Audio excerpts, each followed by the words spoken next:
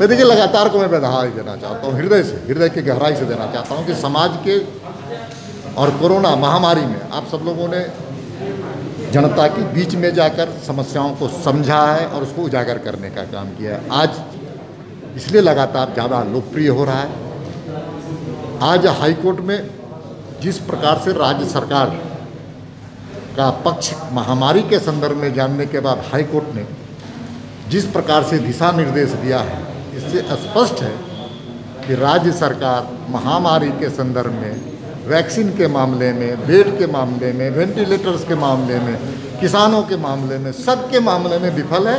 अब तो बस एक ही चीज़ है कि मुख्यमंत्री सार्वजनिक स्थान पर खड़ा होकर के बोल दें कि मैं कोरोना महामारी से लड़ने में असफल हूँ। बहुत सच है, मैं हृदय से कह रहा हूँ कि रूपा तिर्की के मामले को तो आपको स्पेशल बधाई।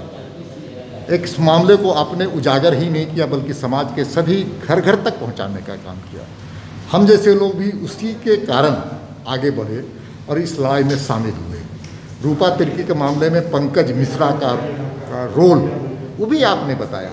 साथ ही साथ कल पंकज मिश्रा ने हमारे पार्टी के एक नेता पिंकू मिश्रा पर फ़ोन करके धमकी दिया कि इस मामले को बढ़ाने का काम करोगे तो जान तुम्हारी जान चली जाएगी।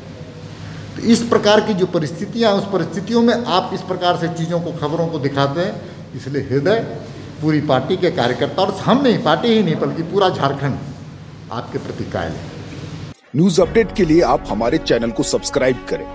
आप हमें फेसबुक और इंस्टाग्राम पर भी फॉलो कर सकते हैं। बने रहे लगातार डॉट इन के साथ।